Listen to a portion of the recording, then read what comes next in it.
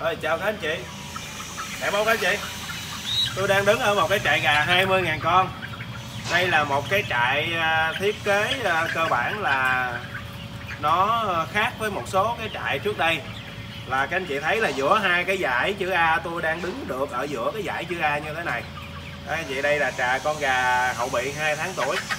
À, Tôi mới bắt đầu làm cái trại này à, mới nhập về được 2 tháng thôi và ở trại này thì thực sự các anh chị thấy là cái hệ thống gom phân nó có một cái đường gom phân ở giữa là rất là thoáng.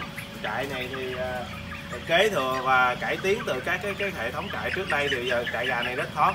Mời các anh chị chúng ta cùng tham quan cái hệ thống trại mới này nha các anh chị.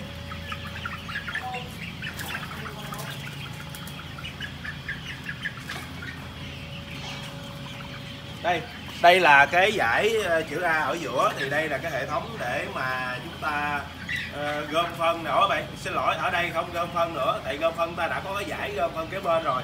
Còn ở đây là chúng ta sẽ ờ, cho nước uống và đẩy thức ăn. Rồi những người công nhân sẽ chỉ gom trứng và cho thức ăn và nước uống trên cái đường này. Còn phân chúng ta sẽ đi vào một con đường khác. Khác với cái trại trước kia đó thì chúng ta gom phân ở đây luôn lấy trứng ở trên con đường này luôn và như vậy thì cái gốc chữ A như thế này, con gà nó không có thoáng. Và nó rất là bị ngợp, nhưng bây giờ thì cái chuồng gà nhìn rất là thoáng.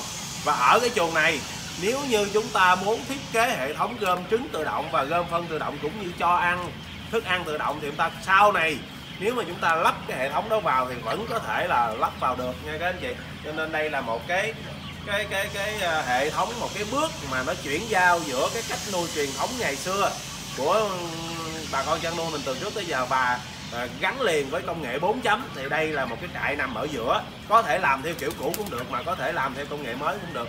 Rồi mời các anh chị chúng ta cùng tham quan.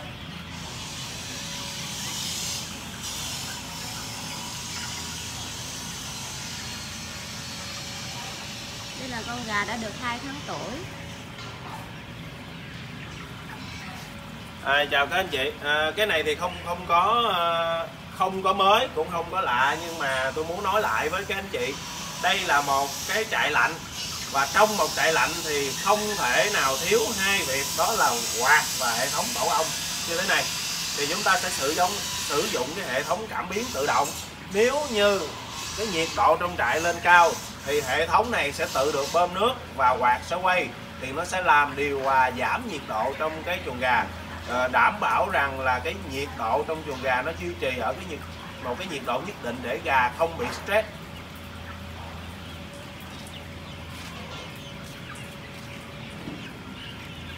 Đây là một cái lứa gà đầu tiên mà chúng tôi bắt đầu thả vào. À, một cái trại mới hoàn toàn. À, các anh chị đây là một cái trại mới hoàn toàn. Thì à, những con gà này thì tầm khoảng à, 2 tháng rưỡi đến 3 tháng nữa thì nó sẽ cho rất hột đều. Đây là gà đẻ trứng vàng.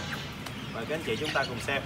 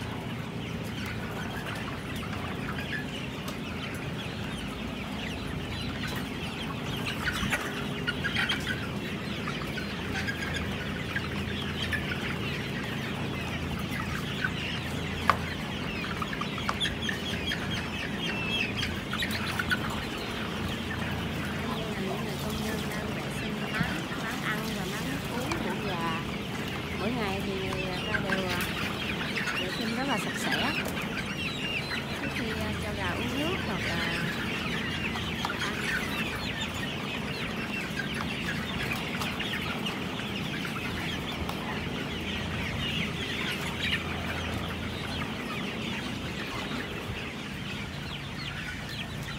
Cảm ơn anh chị và các bạn đã à, theo dõi video clip của chúng tôi.